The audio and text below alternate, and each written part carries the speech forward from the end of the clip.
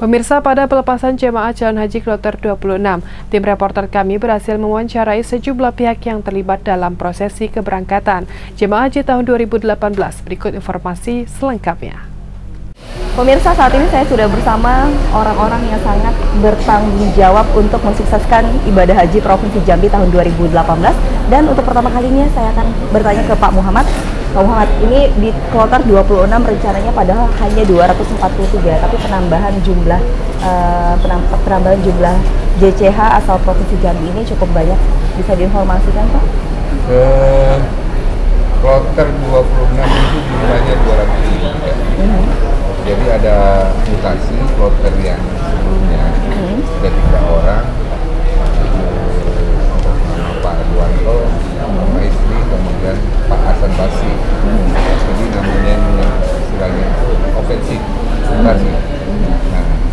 Oke, okay, untuk open seat sendiri ini uh, jumlahnya sudah ditentukan dari awalkah? Apa ini adalah seat-seat yang kosong dan pada deadline semua, Pak? Bukan. Jadi bukan. Pak, benar begini, setiap penerbangan itu hmm. kita kan uh, Saudi Arabia itu seatnya 450. Ya. Uh, ketika penerbangan itu 450 apabila kurang mm-hmm. bisa dari kloter yang sebelumnya mm-hmm. kalau ada misalnya ada yang sehat layak terbang kita jaga Oke, okay. untuk jumlah yang sakit calon jemaah yang tidak jadi berangkat karena kondisi sakit kan? Uh, begini, saya sampaikan uh, data yang keseluruhan. Mm-hmm. Jemaah calon haji uh, jumlahnya 2.945. Ya yang sudah kita terbangkan eh, sampai malam ini dari kuartal 20 sampai 26 932 okay. ini ada yang gagal gagal ya. Sekitar 13 jemaah. Yeah. yang lima itu gagalnya daerah. Maju gagal daerah jemaah ini tidak masuk asrama. Hmm. Nah itu pertama. Kemudian 8 8 jemaah itu gagal batal bukan pembatal batal berangkat. Tujuh. 7 ini di embarkasi Antara di asrama haji ini satu di Batam. Nah, yang tujuh ini ya kan dua orang sekarang masih dirawat di Arafah sama rumah sakit. Nanti Pak Kepala Kaki menjelaskan. Yang limanya sudah pulang. Oke, okay, baik. Uh, bisa dipastikan nggak Pak kalau misalnya calon jemaahnya pada tahun 2018 tidak berangkat, apakah nanti diprioritaskan untuk tahun depan berangkat? Nah, yang tidak berangkat tahun depan berangkat. Itu diprioritaskan. Tidak, tunda itu nomor polisinya tetap, hmm. tetap. Mereka sepanjang, nah ini sepanjang. Nanti uh, kalau dokumen saya tidak ada persoalan hmm. karena dia sudah punya paspor dan segala macam.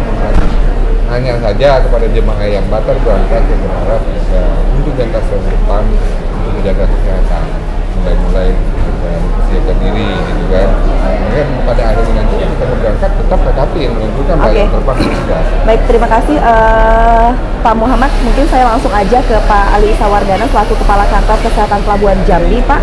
Uh, kalau misalnya bicara tentang sekitar 8 orang jemaah yang tidak jadi berangkat karena sakit dan kita ketahui bahwa dua orang dirawat di Jambi dan satu orang dirawat di Batam.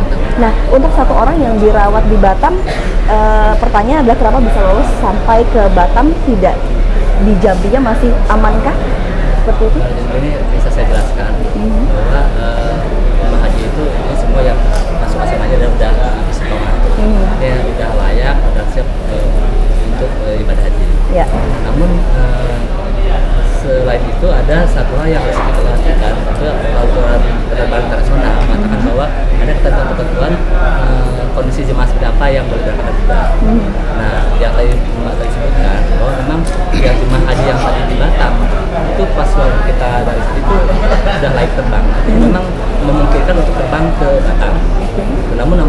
Kan ada dan sebagainya. Ya. Nah, saat sudah nyampe sana kondisi uh, tersebut tidak memungkinkan Oke. Okay.